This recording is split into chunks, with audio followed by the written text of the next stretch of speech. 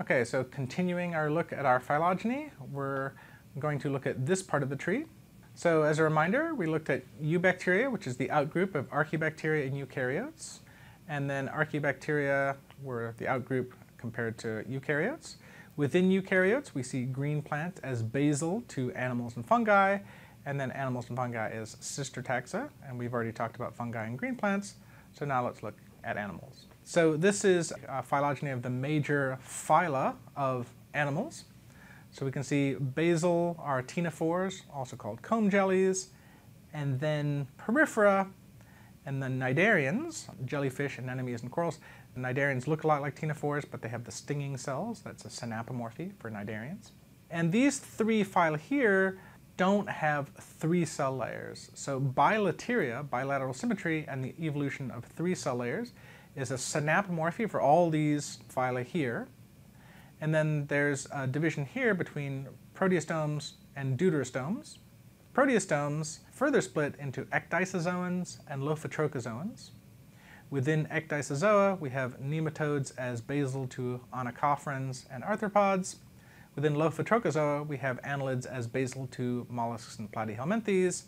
And then over in deuterostomes, we have chordates and echinoderms. So these are major phyla of animals, so you want to make sure you know all of them. And remember, there were actually far more phyla than this in the Burgess Shale and during the Cambrian explosion. These are the major ones for which we have living members. There are a few other phyla I have not illustrated here, because to have them all would make the tree too big. For now, let's look at the basal three clades, the ctenophores, the poriferans, and the cnidarians. So ctenophores are comb jellies. They look like jellyfish. They swim around. They live in the oceans, but they do not have stinging cells. They don't have nematocysts. Poriferans are sponges, so they filter feed. So you can see there, they don't have any moving parts. They're basically just structures. They have cells with hair that create water flow that uh, moves through the sponges and then they filter food out of the, the water. And although they're very simple and we would be tempted to think of them as like less evolved or something like that, that's not the way we want to think about things, right? So although they don't move and they don't have like joints and muscles, at the chemical level, they are in fact very sophisticated. So because they can't defend themselves with movement or um, things like that, there's actually a very fascinating biochemistry and metabolism that goes on within sponges, in their immune system, in their chemical defense system, and so forth. So sponges, although they're maybe not as complex in terms of having number of cell layers, they are just as complex in terms of the different molecules that they make. And of course, because they're still around today, they have been evolving for just as long as everything else, and they're as successful as everything else because they're still alive. And then cnidarians. So cnidarians are jellyfish, anemones, and corals.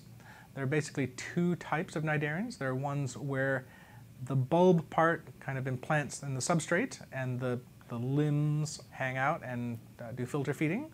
Or there are free-living ones like jellyfish and swim around like this, and the stinging cells, these nematocysts, are in the tentacles, right? So if you've seen Finding Nemo, you know you can bounce on the top here and that's not a problem. It's this part you have to watch out for. And those nematocysts are used for stinging prey and then capturing prey and then consuming prey.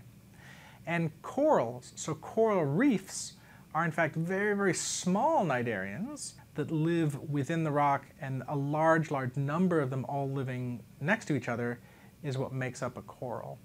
So there's a wide range of different morphologies within this phylum of Cnidaria. They all have nematocysts, but they go from free-living to large, basically predatory organisms, to very, very small organisms that build reefs.